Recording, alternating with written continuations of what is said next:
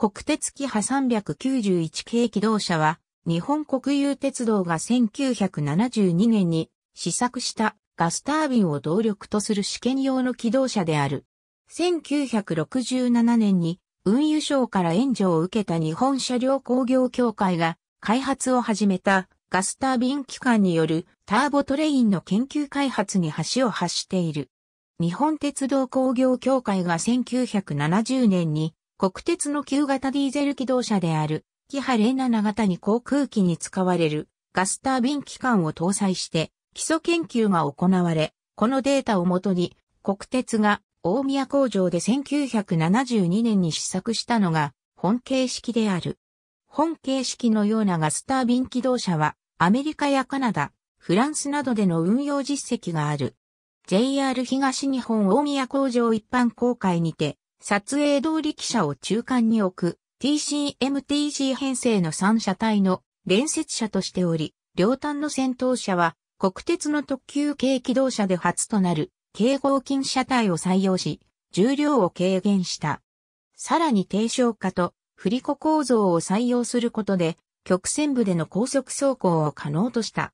デザインはキハ80系、キハ181系に準じた貫通型であるが、貫通扉周囲には、ホロ枠がなく、運転席部分と客席部分の車高の段差が大きくなった独特の形状をしており、愛好者の間では土の子と呼ばれた。中間車体は振り子構造ではなく、出入り口とガスタービン機関だけが搭載されており、その全長は6メートル前後と短く、先頭となるに車体に客室を持っていた。車内には591系電車と同じ簡易、リクライニングシートが少数装備されていた。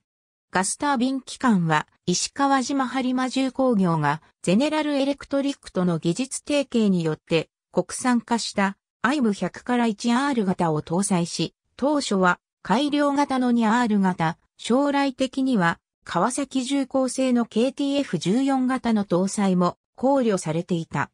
台車は重心を低くするために 800mm 傾斜輪を採用した DT97、DT98 が採用された。ブレーキ装置はキハ181系と同じ CLE 系電磁自動空気ブレーキを採用しており、高速用に性能を向上させている。運転席もキハ181系と同じ横軸式を採用した。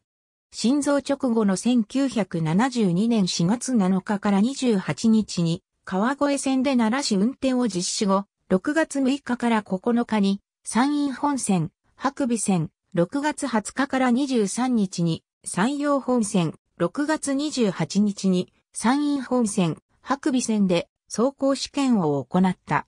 10月5日の走行試験において、米子駅構内にて、クラッチの破損事故が生じた。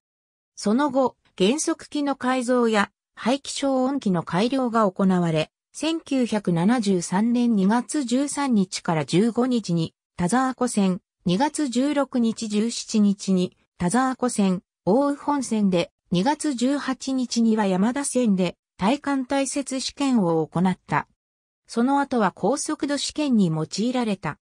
3月7日から9日に白尾線、同月12日から14日に山陰本線、同月22日から24日に山陽本線で行われ、最高速度時速 130km を記録し、振り子の性能も591系と同等もしくは、それ以上であることが確認された。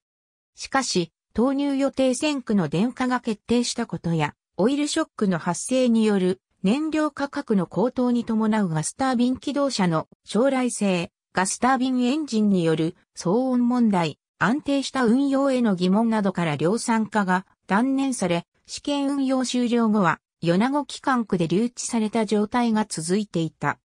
その後、鉄道技術研究所に移動した後1986年に除籍となり、大宮総合車両センターに移動した。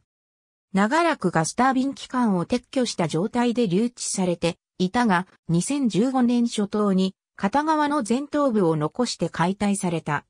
残された前頭部はカットモデルとして同センター内に保存されている。ありがとうございます。